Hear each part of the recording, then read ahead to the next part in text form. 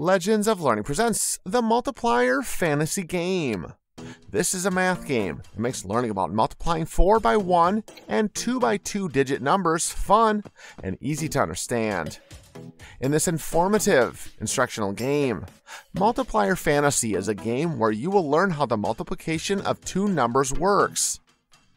The player will mainly need to use his spells to move objects around and solve the different equations that he will face during the game.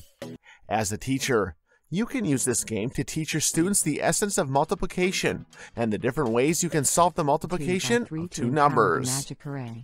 As a student, you will learn how to solve the multiplication of two numbers using the following methods area models, empty arrays, and standard algorithms. Excellent. Use the arrow keys to move around the different arenas. In our array. Use the space bar to jump and the S key to shoot your until we fill spells. the Press the C key to change between the different colored spells to help you solve all the math puzzles. Use your math skills to help you solve addition, containing the equation with the subtraction, right color shape to move it. multiplication, and division questions. Have fun and enjoy playing.